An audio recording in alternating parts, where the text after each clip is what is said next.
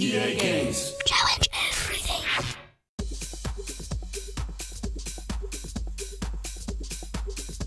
For the first time, you actually get to follow your Sims through their lifetime. It is so much more engaging and immersive. You're going to have them go through these life events. They range anything from their first job to their first crush or their first kiss. It feels much more like you're in the room with these people, which gives you kind of a different personal relationship with these characters. The graphics and the environment are so overwhelming, you will have to experience it.